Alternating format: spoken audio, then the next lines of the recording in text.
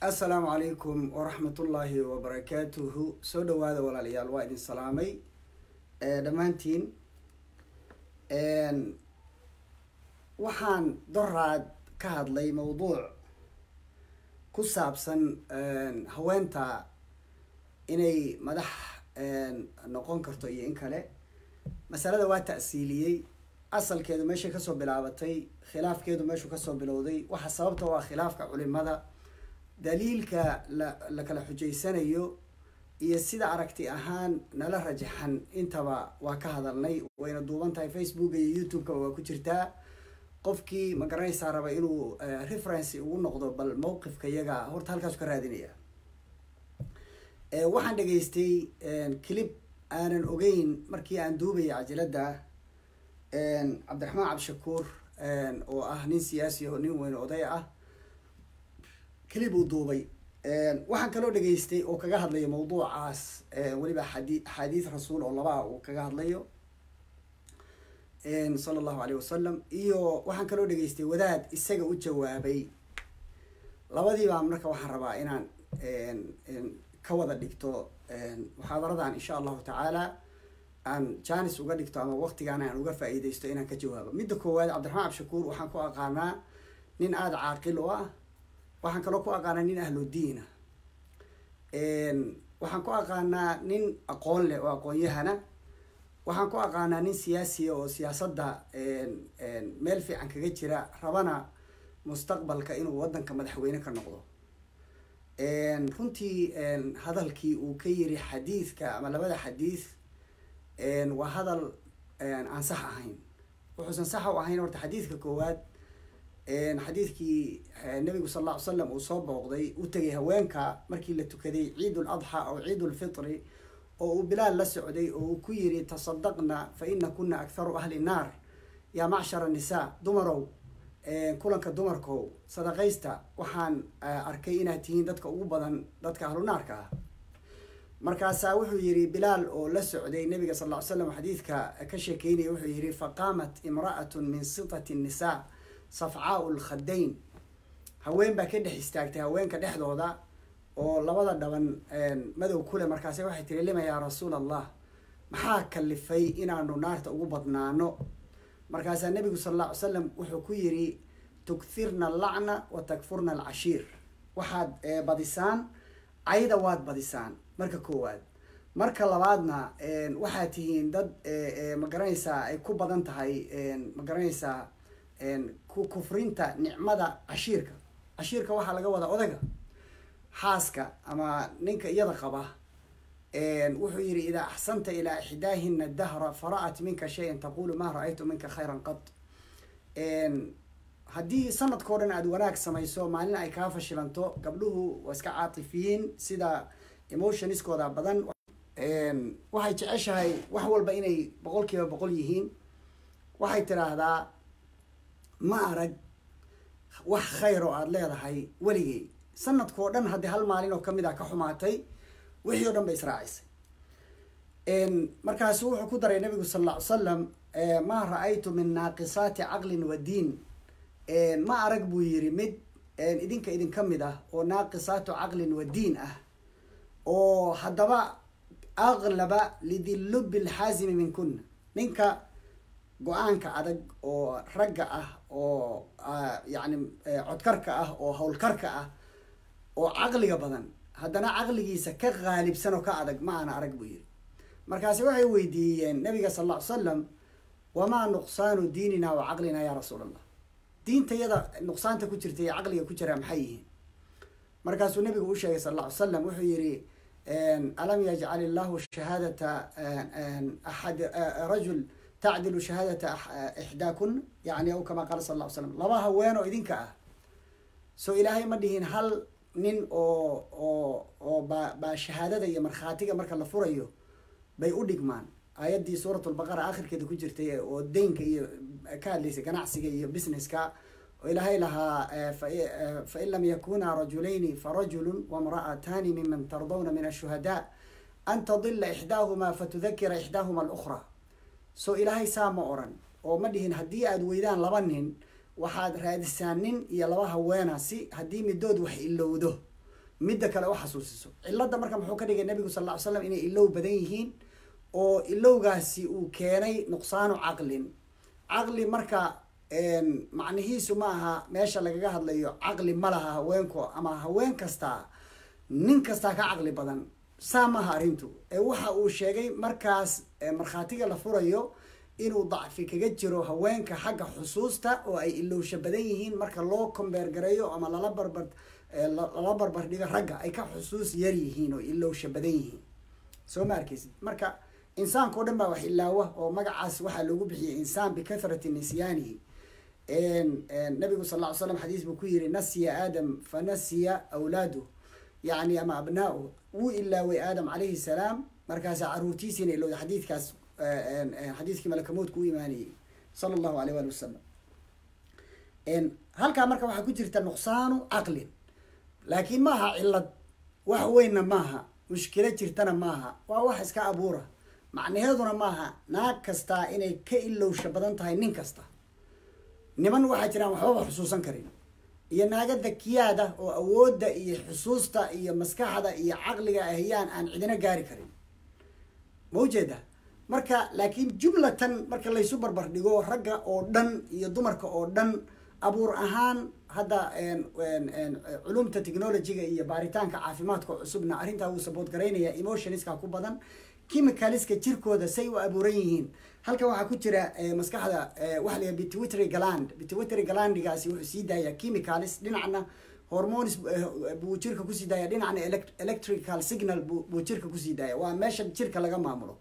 Hormoneskaas uu sii daayo jirka maamula oo gaaja ay haysa hurda ay haysa xanuun baa haya saasaan u baahanahay. Waxaas oo reactiona keenaya jirka ka keenaya oo u sheegaya jirka dab baa jire ka carar fight or flight. Yani waxaasoo dhan sheegaya musqusha aad saas yeel yani ama awaamirtaa waxa bixinaya.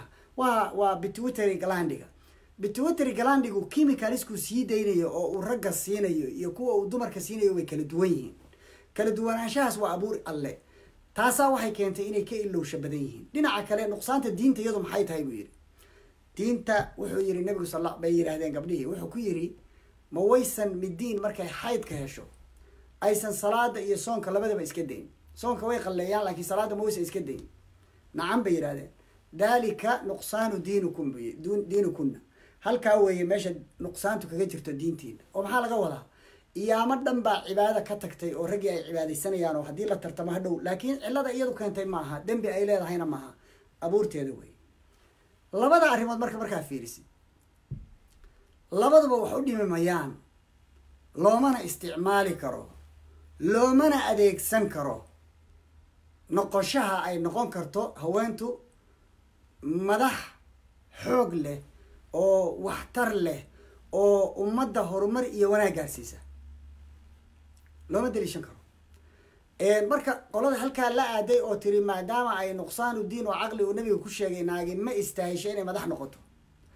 Xadiidka kale uu ka hadlay ninka la yidhaha cabdiraxmaan abshakuur oo isaguna ah xadiidkii saxiixa ahaa oo bukhaari ku yaaliya nasaa-i oo ahaa markii loo sheegay nabiga sal xadiidka ababakrata xadiidka hore abu saciid alkhudri baa wariyey bukhaari iyo muslim buna ku yahay xadiis saxiixa wey macruuf oo la yaqaan. Xadiidka labaadna waa xadiis saxiixa isna bukhaari iyo nasaa-i kutub badan baa lagu wariyey waana xadiis saxiixa oo shaki uusan ku jirin sixadiisa isaguna markii uu ka hadlay qaysar kisra in la dilay oo gabadhiisii madax looga dhigay nabigu sal alla ly slam wuxuu lam yuflixa qowmun wallow amrahum imraa riwaayad kale lan yuflixa qowmun wallow amrahum imraa haween qolo madax ka dhigtay oo amarkoodii u dhiibtay ma liibaanayaan. Shalay baan ka hadlay ku noqon maayo. Iyadana labada axaadiis iyagoo daliishanaya qolaa extreme waxay la aaday xagga ah oo waxay yihahdeen haweentu maba noqon karto madax. Maamulna ma qaban karto. Iyadaa mar walbana mas'uul laga yahay. Qof mas'uul laga yahayna isagu mas'uuliyad kale ma qaadi karo yani waxyaabaha noocaasihi ma anzala allahu biha min sultaan. Afkaar weeye afkaartaasi khalad iyo sax xaq bay uleedahay labadaba. In la diido iyo in la yeelo labadaba xaq bay uleedahay yani qur'aanna maaha xadiisna maaha weyne inaysan waxba qaban karin. Aan loo ogolayn. Xadiidka hadda aan sheegay haweentu ma qaban kartaa xukun oo qoladii u dhiibtaa ma liibaantay ka baxayaan oo ma baaba-ayaan waa ka jawaabay. Shalay baan ka hadlay. Ku noqda youtube-ka iyo facebooka ka dhagaysta laakiin macnaheeda haddaan soo koobo nabiga sala alla ly slam xadiidkiisa waaba laysku khilaafay.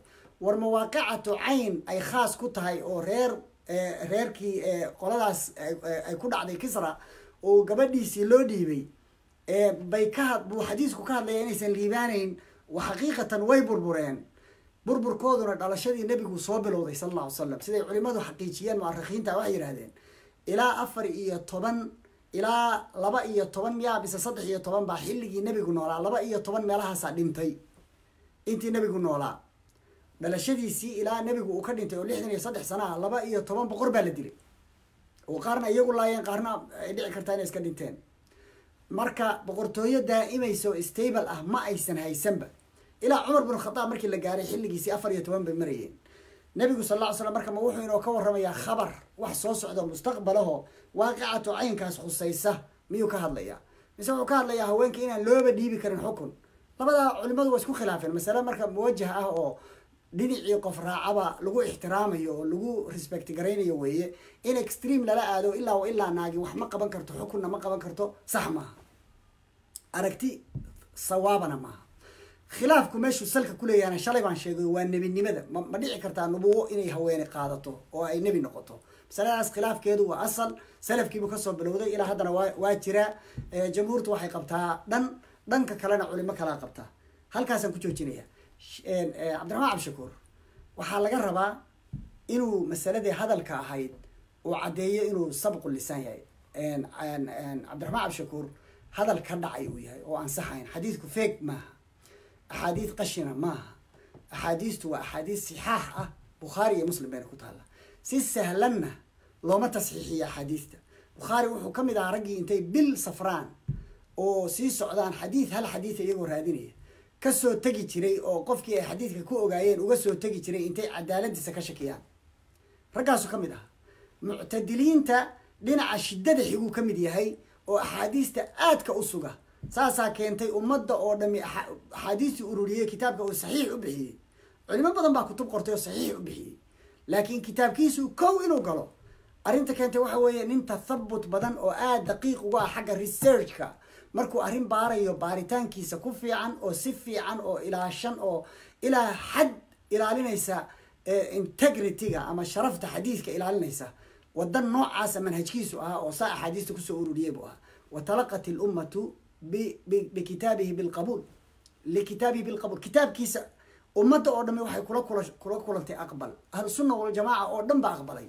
Kitaabka waxay yidhahdaan asaxu kitaabin bacda kitaab illah kelmadaasi marka ma geydo xadiid laba xadiid oo labaduba bukhaari ku yaalla hadalkii uu sheekh cabdiraxmaan yiri ma geydo. Cabdiraxmaan waxaan ka rabnaa walaalkeen waa jecelnahay. Wuxuu rajo ka qabaa inuu mustaqbalka madaxweyne noqdo dalka xukumo arrintaani arrin meelka dhac diinta ku aweeye shaki badan bay abuureysaa uma u baahna khilaafka noocaasi ama controversial kelmad saas las yani mushkiladeedu ay u badan tahay dajo kicinaysa inuu abuuro uma baahna. Arrintaa cabdiraxmaan waxaan ka sugaynaa inuu cudurdaar ka bixiyo waana rajaynaya maxaa yeele cabdiraxmaan waa nin ahludiina. Qur'aankana wuu yaqaana waxaan kaloo rabaa inaan sheego mulaxado cabdiraxmaan wuxuu daliishaday laba haweena haweenta koowaad waxay ahayd balqiis inay xukun fiican haysay oo qur'aanku ammaanay. Weliba mushaawaro iyo yani ay dadka lalahayd oo ay shuura majlis shuuro lahayd ay la tashato dadkeeda o aysan ahayn qof dictatorada waana xaqiiqa. Qur'aanku maba ceebeynba gabadha waxna kama sheegin. Laakiin masalaa jirto oo cabdiraxmaan waa ogyahay sharcu man qablana sharcun lana maa lam yakun fi sharcina maa yukhaalifu qaacido weeye asala. Yacni sharcigii ina ka horreeyey ma la aqbali karaa horta oo sharci maynoo yahay waa masale khilaafiya laakiin cidda aqbashay oo culimada u badan inta jamhuurta ah oo aqbasha waxay shardi kaga dhigaan inaan la helin diinteenna wax ku jira oo arrintaa ka hor imaanaya. Marka waa mustanas weeye ama waaba la qaadan karaa. Yacni dalaa-ilka laysku waafaqsan yahay alkitaab walsunna walijmac walqiyaas waxaa ku xiga alcurfu walcaada waxaa ku xiga qowl saxaabi waxaa ku xiga sharcu man qablana alistixsaan alistixsaab kuwaasoo dhan baa ka horey sharcu man kuwa ugu dambeeya ka mid yahay oo tabi tabciyada ah laakiin haddaan musallam ka dhignaba in la aqbalayo. Waxaa ka horeysa inaan sharcigeenu ka hor imaan. Haddana waxaynu haynaa xadiid dhahaya haweenka haddii wax loo dhiibo lama liibaanayo. Ma qiso gaaru ka hadlayaa mase sida kalu ka hadlaya labadaba wuu noqon karaa. Hadduu tan noqdo marka ah haddii aad haween u dhiibataan waad lugo-aysaan oo waad hallaabaysaan oo liibaanta idinka dhumaysa. Haddii xadiidkaasaa ka hor imaanaya arrintii sharcu man qablana ahayd balqiis inay madax ahayd. Wamaca dalika balqiis looma deen xukunkeediiy waa la soo raray. Taxta nabiyullahi sulaymaan bay soo hoos gashay wayna islaamtay. Wixii ay haysatayna waxaa lagu sheegay cibaadatu shamsi inay ahaydo. Ay qoraxda caabudaysay. Marka qolo aan caqiidana lahayn diinna lahayn oo ka horreeyay islaamka ahayn walow aan islaamku ceebayn oo uu sharfay qaabku u wariyey warka iyo say wax u dhigtay iyo ma garanaysaa saas oo kale. Daliil marka nooma aha maadaama aan haysano daliil laysku haysto inuu ka hor imaan karo. Midda labaad oo cabdiraxmaan daliishaday waxay ahayd gabadha la yiraahdo market oo uu yiri yurub oo dhan iyo adduunka hadda liberaalka la yirahda gacanta ku haysaa masaa'ilka diiniga ah loogama qiyaas qaato. Dadka aan muslimka ahayn afcaashooda iyo iyo dadka xataa muslimka ah ficilkooda loogama qofku ficilkiisa isagaa iska leh. Diintuna waa diin arrintaas marka qolada xaggaa la aaday extreamka ah oo fogeynaysana lama rabo kuwa dhanka kale la aadayn lama rabo. Khayru lumuuri awsatuhaa cabdiraxmaan waxaan hubaa insha allahu tacaala inuu ka noqon doono. Intaas taasaan kale eeg waxaan rabaa kale inaan ishaaro. Gabdhuhu xukunka way qaban karaan. Walaa khilaafa fi dalika kuma khilaafsanin. Anigu waxaan aaminsanahay mas'alada horta aad rabtaan inaad fahamtaan haddaad soomaali tihiin waxa weeye xukunka ugu sarreeya soomaaliya ma xukunka ay aayad xadiiskaanu hadda ka hadlayaa mise ma aha. Masalada horta inaad ta'siilisaan baa u baahan tihiin. Soomaaliya ma manaasibta jus-iga ah oo loo ogol yahay haweenku inay qabtaan bay la dhigan tahay oo looga qiyaas qaadanaya. Madaxa soomaaliya madaxa kenya madaxa tanzania madaxa yeman madaxweynaha sacuudiga madaxweynaha imaaraadka madaxweynaha qatar madaxweynaha turkiga madaxweynaha dis dis dis waddamada duweylaadka la yihahdo islaamku marka uu ka sheekeynayo imaarada imaaradu tii nabiga ahayd sal alla ly slam islaam kale oo dowladihii ma jirin dowladii nabiga ahayd sala allahu aleyh wali wasalam waxaa ku xigtay dowladdii abubakar radi allahu canhu cid kale ma jirin. Waxaa ku xigtay qolaa damcday inay ka baxdo xuruubu ridda waa garanaysaan taarikhda ku noqon maayo. Cumar bin khadaab mithla dalik cuthmaan bin cafaan cali bin abi kulli waa saasay ahaayeen. Yacni hal imaaro oo beeca lala galo oo khilaafatulmuslim ah oo samada jooga miyaa looga qiyaas qaadanayaa wasiirada madaxweyneyaashan yaryar oo meelaha jooga? Mise waxaa looga qiyaas qaadanayaa walaayaadkii ninkii shaam xukumi jiray? Kaasaa ka awood badnaa? Kulligood shaam waa aragtay intay la eg tahay. Waali baa xukumay. Masar waali baa xukumay. Yeman waali baa xukumay. Ciraaq waali baa xukumay. Ma waa waaliyadaasay la mid yihiin oo u soo hoos joogay oo la shaqaynayey oo u soo ribood garaynayay cumar bin khadaab radi allahu canhu bay la mid yihiin. Mise waxay la mid yihiin imaaradii cadiimka ahayd sidaas sida ahi waxa weeye waa duweylaad yar yar. Waxay la mid yihiin walaayaadkii haddaysanba ka hooseyn oo ka sii liidan. Maadaama ay tahay marka mansab jus-i ah haweentu madax bay ka noqon kartaa oo madaxweyney ka noqon kartaa. Masalada masale waxa weeye hadda naazile ah oo cusub mustajadaadkay ka mid tahay waxyaabaha ijtihaadka u baahan bay ka mid tahay culimadu inay ku ijtihaadaan wayna ku ijtihaadeen rag badan baa qaba. Sheekh dadow baa qaba waxaa qaba sheekh bashar bashiir xasan baa qaba waxaa qaba lujnat aliftaa daar masr baa qabta waad geli kartaan. Waxaa qaba shiikha muftiga u ah masar waxaa qaba qudaad tiro badan oo ka mid a ama culimo badan oo ka mid a jaamacat alazhar baa qaba. Rag badan oo kaleo kutub ka qoray baa jira. Marka hala baxfiyo hala baaro masaladu waa masale saas ah ee aan ahayn masale alienated ah. Dowladahan daddo wuxuu leeyahay qiyaasta saxiixa oo ay leedahay waa inay noqoto walaayaadkii yaryara oo hoose manaasibtii juziga ahayd hoose weeye kuwaasayna la xukun tahay waana uwaafiquhu xafidahu llah masaladaas marka cabdiraxmaanow adigoo aanba axaadiista weerarin baanu xal u haynaa masalada ka hadlaysayo haweenku wayna xukumi karaan soomaaliyana madaxweyney ka noqon karaan. Aniga laftii qolyaha igu ataagay twitterka intaan geliyey clib yar oo laba daqiiqo ah oo aan ugu tilmaamay inay soo dhegaystaan clibkii weynaa oo facebooka iyo youtube-ka oo caytamayo dhalinyaro ah. Waxba maaha dhalinyaradu waa iska mushkilada hadda soo baxday ka mid tahay facebook waa la iscaaya cabdiraxmaankaas waxay ku dhigayaan waad yaabaysa. Looma baahna dadka in la caayo. Qadiyadda labaad aan ka hadlaya waxa weeye wadaad waxaan dhegaystay u jawaabaya cabdiraxmaan abshakuur markaasu wuxuu leeyahay cabdiraxmaan abshakuur waa cilmaani masaladaasi waa meel ka dhac hadda ka horna nin baan ka difaacay sheekh xasan daahir la oran jiray xafidahullah oo shiikhaygii ahaayo aan cilmu lqiraa'aat ka soo faa'iidaystay oo ka soo bartay oo macalinkaygii qur'aanka ah. Yani saas oo kale. Oo dhowr qira'a aan ka qaatay. Xafidahullah. Sheekh xasan wuxuu ku sheegay cilmaani nin kaloo shiikha oo aan saaxiibnaho aan jeclaho sheekh cabdiraxmaan la yihahdo iyo nin dhalinyaro ah oo isna nin khiyaar oo ahludiin oo sujuudu ay ka muuqato la yihahdo cabdinaasir soolo labadaa ninba wuxuu ku sheegay inay cilmaaniyin yihiin. Masaladaasna waan taxliiliyey cilmaani macnaheedu waa laadiini masaladaas waa takfiir marka. Masale loo baahan yahay maaha. Haddaa al-shabaab tihiin waa meesheeda. Laakiin kelmadaas in carabka lagu celceliyo dadka cilmaani cilmaani cilmaani lagu tuuro waa dulmi wey waa mujaazafa waa xuquuqda qofka bini aadamka oo lagu xadgudbayo leeyo xaq loogu leeyahay inuu cabdiraxmaan inuu cabdiraxmaan waco oo apology uu siiyo oo cafis weydiista xaq loogu leeyahay. Hadalkaas dulmi weeye xadgudub weeye wa inamaa hiya alxasanaatu wasayi-aat yowma alqiyaama dulmigu ma banaana wadulmu dulumaatu yowma alqiyaama cumar bn khataab radi allahu canhu wuxuu leeyahay ama culimado dhan ba ay leeyihiin kelmad walaalkaa afkiisa ka soo baxday. Ha ku xambaarin maxmal sayi ah. Maa tajidu fi lxasani maxmala. Yani inta aad kelmadda aada u raadin kartid cudurdaar inta aad kelmadda u raadin kartid ama ama ama armay saa ka tahay amau saa u waday armuu halka hale intaad u raadin kartid. Cumar bn khataab wuxuu leeyahay iltamis liakhiika sabciina cudran fain lam tajid faqul lacala lahu cudran laa acrifuhu. Cudur u raadi buu yihi toddobaatan jeer waxaa u raadisaa excuse iyo ma garanaysaa cudurdaar war armusaa ka wada armusaa markaad daashid oo toddobaatankii dhammaato waxaad tiraahdaa waxaa laga yaabaa inuu cudurdaar leeyahay laakiinaanan anigu aqoon. Saa laakiin ha jaajgarayn dadka. Cilmaaniyiintu diinta ilahay bay duulaan ku yeli cabdiraxmaan shakuur waa xaafid alqur-aan. Diinta ilahayna duulaan kuma aha. Una malayn maayo inuu eebdarro u dan leeyahay. Masaladaa meesha la martay cabdiraxmaanna waxaa laga rabaa inuu mas'alada raali geliyo. Wadaadkaasna waxaa laga rabaa inuu inuu cabdiraxmaan raali geliyo. Haddaan saa la yeelin labadaba waxaa dhici karta in dembi loo qabsado. Cudurdaar buu lahaan karaa cabdiraxmaan wuxuu ahaan karaa jahli inuusan masalada aqoon. Wuxuu ahaan karaa inuu kaga dhacay afku. Wuxuu ahaan karaa inuu ismoodsiiyey. Wuxuu ahaan karaa inuu qof ka soo dhageystay uu ku qanacsan yahay oo saa u fahmay oo wadaad saa qaba oo isagu uu ku qancay uu dhageystay kuna raacay masalada uu mutaawil u yahay.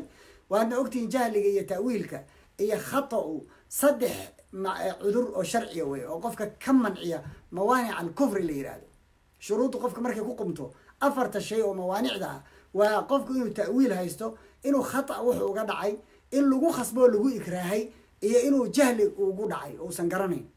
Afartii saddex ka mid a dhici karta inay cabdiraxmaan ku qaa'im tahay ama midkood uu qaa'im ku yahay ama laba ay qaa'im ku tahay.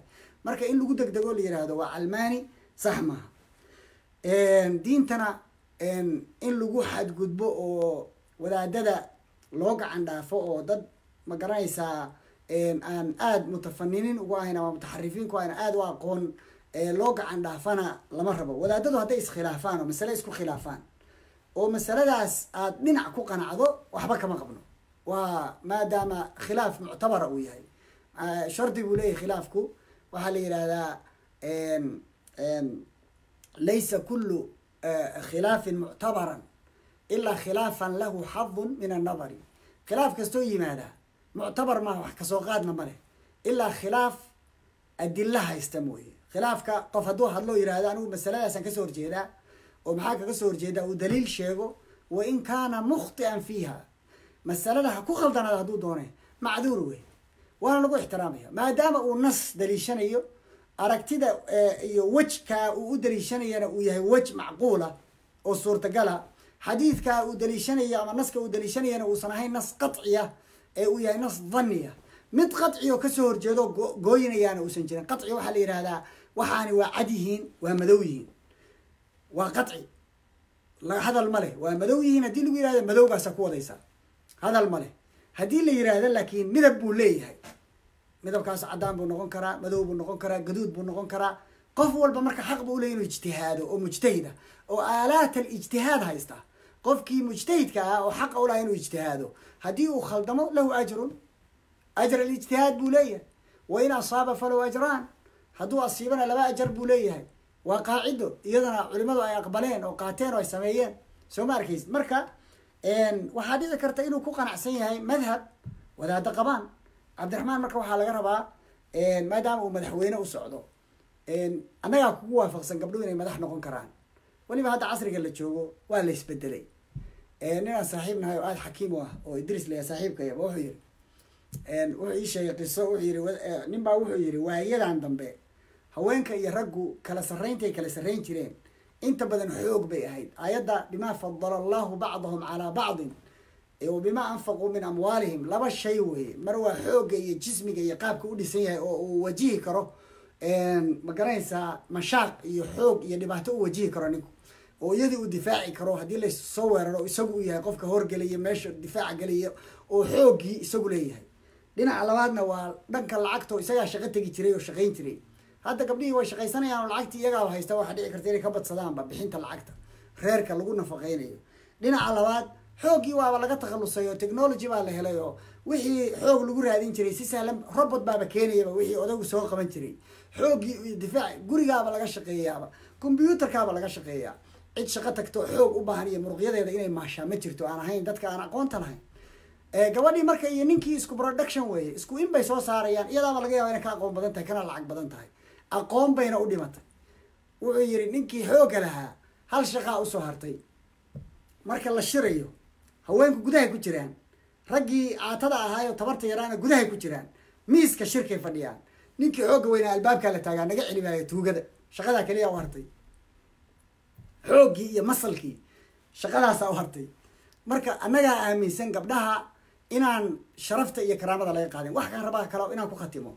Gabdhaha soomaaliyeed ragow waxay idinka mudan yihiin waad ogtihiin. Gabdhuhu tuuga maaha oo dadil maaha oo weligood xabad isugu kendhiibi mayaan oo weligood qof dili mayaan oo balaayo ma aha meelo kale ku xiran oo laaluush iyo intay gaalo iyo wadamo kale ka qaateen ina gadanaya maaha. Dad loyal ah oo honesty ah oo waddanka iyo dadka ay iyagu dhaleen u naxariisto oo rifqi iyo naxariis badan le wey gabdhaha soomaaliyeed waad ogtihiin in lagu soo mooday. Markii qaxu dhacay baa waxaa la kala bartay wiilasha soomaaliyeed iyo gabdhaha soomaaliyeed cidda nafac badan. Gabdhaha nafac batay reerkii laba gabdhood lahaa oo ay dibadda u jireen reerkaasi waa ka dabaashay. Laakiin ama hal gabar xataa reerkii shan wiil banaanka ugu maqnayd waa laysku tuurtuurayaa biilkii. In bil loo waayo ama laba bilood loo waayo ama dhowr bilood ba aysan lacag helin baa dhici karta. Waad ogtihiin haween baa loo baxsaday dadka hadda waddanka degan soomaaliya boqolkiiba midhaa konton iyo ka badan toddobaatan lixdan number aada u tiro badan. Haweenkaa biila raggu meelahaasay wareegaan qaadkay cunaan dadkay laayaan. Ma ujeeda karaamo ma leh. In badan oo ka mid ihi ragga karaamo ma leh. Yacni way baaba-een akhlaaqiyan bay u baaba-een jismiyan bay u baaba-een. Drug addicts weeye xabsiyaday ku jiraan dadkay laayaan musiiba o dhan bay wadaan. Haweenku way ka badbaadeen waxaas o dhan. Waxay kaloo ka badbaadeen haweenku intooda badan qabyaalad bay ka badbaadeen. Waxaa jira xabad xabad khariban oo ummad meel dad tiro badan wax fiican iyo waxunba waa laga helaya laakiin gabdhuhu waxay u badan yihiin. Inay wadaniyiin yihiin inay ahlu diin yihiin inay daacad yihiin waxay u badan yihiin inay khayr rabaan. Waxay u badan yihiin caruurtooda iyo familigooda iyo walaalahooda iyo hooyadood iyo reerkooda inay wanaag la rabaan. Saasay u badan yihiin. Thats why aan aaminsanahay in gabdhaha aynu iska horumarino oo bal xoogaa xataa aan ku kala degno. Waxay kaloo ku fiican tahay arrintaasi oo anigu aragti ahaan aan arkayay nimankii waa la kala celin laayahay madaxda ahaa. Ninkii kursiga fariista intooda kalea u soo shaqo tegaysa maalin walba way caayayaan maalin walba balaayay nooga sheegayaan. Midkii fariistaba kan kalaa dabaguraya. Waxaan is iri hadday gabaray fariisan lahayd rag waa ka xishoon lahaa. Waxa wax maagaana rag bay u badan yihiin haweenka cilladaha ay leeyihiin iyagana waxaa ka mid a isma indha buuxiyaan. Hadday midi madax noqoto inta kaleo dhan baan laga celin karayn. Musiibada marka aan ka baqayo ragga aan hadda ugala cararayo waxaan ka baqayaa inay kaba sii darto inay kaba sii darto. Waa dhici kartaa inay ka fiicnaadaan. Anigu saasaan rajaynayaa. Aaminsanahayna insha allahu tacaala gabdhuhu inoo ka roon. Dalkana gadan mayaan waddankana dhici mayaan tuugana ma aha cadowna ma aha jaasuusna intay waddan kale u noqdaan inay iibsan mayaan waddanka iyo turista iyo xagga dhaqaaleynta iyo dhib la'aanta iyo xabadka cararkana iyagaa u roon. Armayba inuu ku fiicnaan lahayd xilligan inaan haween iska hormarino. Aragti ahaan wey waa laygu khilaafi karaa waana laygu raaci karaa. Marka intaasaan rabay inaa idhaahdo cabdiraxmaan insha allahu tacaala anigu cudurdaar baan u hayaa. Cilmaanina agtayda kama aha daalinna maaha diinlaawona maaha. Wax badan baa laga yaaba inaan ku khilaafsanaan karo. Siyaasadda mucaaradka anigu inta badan waxyaabaha uu qoro iyo meelaha uu istaago iyo kama aada ugama helo in badan baan ka soo horjeedaa. Sababto waxaan jeclahay ninkii markaa kursigaa fadhiya. Ciddii la shaqayn kartaana inay la shaqayso. Ciddii aan waafaqsanayn oo aan la shaqayn karinna inay shidada ka yarayso oo dhibka ay ka dayso sida si wadanku uu u kaco maxaa yeelay ruqaan nahay. Ruqa waxaa la yihahdaa neefka caatada ah oo gaajada iyo caatada intay abaartu markay ku dhacdo cunto waaye baaba-ay oo markuu fadhiista kici kari waaya waxaa la sameeyaa geela weliba. Waa la kiciyaa iyo lo-da. Qofka iskale baa u yimaada dabadaa la qabtaa markuu kacayo waa la waa la bari taaraa. Waxay yidhahdaan marka mahmaha soomaaliyeed baa waxay tahay ruqo ninkii lahaa dabada kaga taagan yahay ma kacdo meeshii la la taakulayn lahaa haddii lagaga istaago. Waddanka waa waddan burbursan ruqaan nahay. Ninkii markaa hoggaanka noo hayo aad inta idinkaa isdoortay aad doorateen oo idinku cod ka siiseen daaya ammaan siiya. Meeshuu geynaya bal afartiisa sana ha dhamaysto isaguna afarta ayuu wax ku darsan. Kuwii hore waa ku darsan jireen waa ognahay bilo iyo laba bilood iyo sanado iyo kulli waa lagu darsan jiray. Waxaan horay u soo baranay weeye in boobo. Laakiin bal markaan yaa nala boobin idinkuna daaya qolyaha maamulka. Marka cabdiraxmaan runtii i admire him for two reasons. Inuu nin diin la yahay iyo nin aqoon le inuu yahay iyo nin ma garanaysaa absolutely most of the times marka dadku ay criticism samaynayaan oo ay doodayaan qofku waa inuu pointi qaban karaa xubin waa inuu hadalkiisu leeyahay. Hadalkiisu xubin buu leeyahay. Marka waa nin codkara oo nin aqoon-yahan ah waana nin aan diinku aqaano intaa qur'aan buu daliishanayaa qur'aankana si fiican buu u akriyaa oo iiga muuqata markuu daliishanayo baan garanaya qofku inuu qur'aanka yaqaaniyo in kale. Soo ma arkays marka cilmaani ma aha. Mana istaahilo in la caayo. Cudurdaar buu xaq u leeyahay. Hadduusan shiikh ahayn oo wadaadka hadda radinaya wuxuu yihi diinta ma yaqaan. Hadduusan diinta aqoon maxaa u shaabadaynaysaa marka u leedahay gaal wey ila cilmaani waa diin laawe diin laawena waa gaale maxaa u shaabadaynaysaa ma u tara xumtid oo jahli ugu cudurdaartay? Ibnu taymiya baan ku xasuusinaya raxmatullahi caleyhi isagoo la doodaya niman malaaxida mutasawifka ilxaadka nooca la yihahda aaminsan waxdatulwujuudka yuu la doodaya. Markaase waxay leeyihiin ilaahay baa dadka ku dhex jira oo xoolaha ku dhex jira. Ibnu carabi iyo raggoodii afkaartii falaasifada fogeyd baa soo gashay islaamka xilligaas xilligii faatimiyiinta. Marka iyagu la doodaya wuxuu ku leeyahay yaa ikhwaani kalaamukum hada kufrun walaakinii laa ukafirukum liannakum juhaal. Hadda nimankaas waa niman culimaa ogow oo doodaya oo masaa'il daqiiqa ka hadlaya. Wuxuu yihi walaalayaal waxa aa ka hadlaysaan yaa ikhwaani waa kufri. Laakiin hadalladiinaas kufrigaa idinku gaalaysiin mayo. Maxaa yeelay jahli baa tiin oo jahli baan idinku cudurdaaraya qofka marka muslimka ah oo gafa yaan markiiba loo dhaansan dhiilaha iyo haamaha oo aan meel laga meel uu galo yaan loo diidin. Arrintaasi sax maaha in laga faa'iidaysto ma ogtahay? Nabigu sal ll slam wuxuu dhihi jiray waxyaabuu ilahay ka magangeli jiray. Waxaa ka mid ah min aljubni walbukli min qalabati wa qahri rijaal shamaatat alacdaa ma fiicna ma fiicna qofka in lagu farxo dhibaato loo geysto oo la camcamiyaho nafta laga gooyo because khalad buu galay. Ninkaas masaladu ku hadlay sax ma ahayn. Cabdiraxmaan masaladu ku hadlay sax ma ahayn. Masaladiina waxaan uga fadhinaa inuu ka noqdo. Waana rajaynayaa insha allahu tacala inuu ka noqon doono. Maxaa yeelay qiimuu leeyahay oo soomaali ka dhex leeyahay. Hadalkuna qofku markuu hadlayo wuu ka fakadaa qofka dhegaysanayaa si fiican wax u arka laakiin qofka hadlaya inta badan wuu ka fakadaa khaladkuna waa ka dhaca cudurdaarka qofka bixiya alrujuuc ila alxaqi fadiila waltamaadi cala albatil radiila yani culimadu waxay yidhahan qofku inuu ku adkaysto baatilka oo dembiga uu galay haddii xataa la tuso loo iftiimiyo uu isku dhajiyo oo dooda uu is yihahdo anaa hadalka ku dambaynaya oo uu buuq iyo muran keliya noqdo faa-iida maha waa radiila waa waa dacfi iyo liidnimo. Xumaan weeye bay dhaheen xumaan. Qofku inuu ka noqdo masalada oo abology bixiyana waa fadiilay dhaheen waa sharaf iyo karaamo. Marka haddii masalada lagaa helo oo aad inaad khaldan tahay lagu tuso xadiidku fake maaha. Fake news maaha qashina maaha wax meelahaas laga keenayna maaha xadiis bukhaari ku yaal. Labada xadiisba bukhaari bay ku yaalaan. Waana saxiix. Fikir ahaan fikirka culimadaasaan raacsanahay iyo kaasaan raacsanahay waa masale musawaq ah oo meesha taalla oo aada xaq u leedahay. Laakiin waxaan waa wax feeg oo meelaha lagaga keenayo gabdhaha lagu cayriyaayo maya maya ciyaar ma laha. Bahashaan diin weeye diintuna ilaahay baa iskale ilaahayna wixiisa lagama taabto ciddii wixiisa ka taabata isagaa iska dhacsha wallahi isagaa iska dhacsha marka waxaan ka rabaa cabdiraxmaan yani inuu ka noqdo rajayn maayo inuu diidi doono wadaadkii cabdiraxmaan radiyey waxaan ka rabaa isaguna inuu wadaadka u toobad keeno baa laga rabaa oo looga fadhiyaa xaq lagu leeyahay weye hadduu diidana aakhiruu ajarkiisa siinaya cabdiraxmaan cabdiraxmaanna waa u baahan yahay ajarkiisa inuu aakhiro qaato inuu ku cafiye maahee isagaa iskale xuquuqdan alla dhaafin bay ka mid tahay waxyaabaha dembiyadan alla dhaafin waxaa ka mid a shirki lagu dhinto oon laga toobad keenin iyo qof xuquuqdiis. Atadruuna man ilmuflis ma garanaysaan qofka cayrta oo kacay oo faraha maran oo xoolo beelku ku dhacay. Muflisu fiina man laa dirhama lahu walaa mataac saxaabadii waxay yidhahdeen qofka mufliska egtayada waa qofkaan xoolana haysan oo lacag haysan weel iyo alaabna aan haysan oo faramaran wuxuu yihi almuflisu fi ummati man yaati yowma alqiyaamati bisiyaamin wa sadaqatin wa salaatin wa xajin wa zakaatin wakada wakada intuu tiriyey acmaal saalixaada oo waaweyn buu yihi waa qofka aakhira la imaanaya acmaal saa u tiro badan wayaati waqad shatama hada waqadafa hada waakala maala hada wadaraba hada wasafaka dama hada fayucطى hada min xasanaati wa hada min xasanaati wuxuu imaanayaa isagoo backage kala wato oo kan wuu caayay kan wuu dilay kan xoolihiisii buu qaatay kan dhiig buu ka daadshay kan dharbaaxu ku dhuftay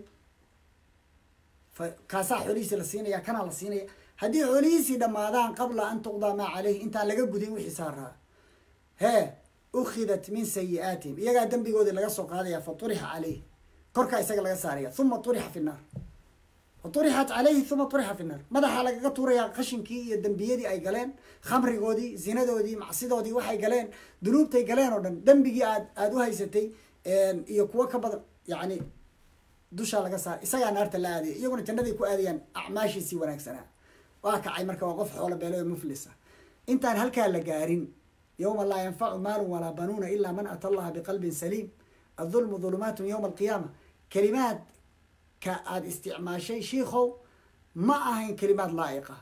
Cilmaani ma garanaysaa ilaahay diintiisa la diriraya ma aha. Waa nin qur'aanka xafidsan. Yani in ixtiraama loo baahan yahay qofka muslimka ah oo walaalkeena qof kasta oo muslim ixtiraam bu kugu leeyahay. Wuxuu kugu leeyahy weliw kugu leeyahay waxaa beri kaga noqonaysaa haddii uu la diriro oo diido. Diinta ilahay intuu la diriro oo loo bayaaniyo oo xujada lagu oogo oo qaamat caleyhi alxuja oo weliba cidda ku oogeysa ay tahay ciduu ku kalsoon yahay diintooda iyo aqoontooda. Uu markaa diido. Markaasaa qofka ma garanaysaa xataa markaasuu leey ibnu taymiya waxaa laga yaabaa lacalla inuu soo galo ducaau lmuslimiin oo qof muslima oo meel taagan oo gacmaha taagaya allahuma akfir lilmuslimiina walmuslimaat ilaahay aqbalo oo mustajaabu dacwa. ah oo somewhere in the world jooga inuu ilaahay ka aqbalo oo markaasaa loogu dambi dhaafay. Laakiin adiga ay kugu taagan tahay dulmigaa gashay. Marka cabdiraxmaanow arrinta nooga soo noqo. Shiikh aniga shiikha wadaadka magaciisa ma aqaani xafidahullah. Runtii waxaa iiga muuqatay kiiro diiniya waana waxaan u baahannahay dad khayuuriin oo ilahay ilahay diintiisa difaaca. Laakiin xadgudubka lama ogola. Aniguna sidaydaba waxaan iska jeclahay qof hadduu qof maago inaan ka dhacsho somow maalintii dhaweyd markuu umal sheekh umal maagay? Waa ka celiyey anigu traffic maahi laakiin waxaan is leeyahay xaqa wuxuu ku jiraa unsur akhaaka daaliman aw madluuman waa amar ilaahay ilaahay baa nagu khasbay oo amarna siiyey inaan ilaalino qofka laga gardaran yahayna u hiilino kan garta daranna aan ka hiilino marka arrintaas wadaadkaygii waa ka hiiliyey wallahu subxaana wa tacala ala aclam wsala allah wasalama calaa sayidina maxamedi wacala alihi wasaxbi wasalam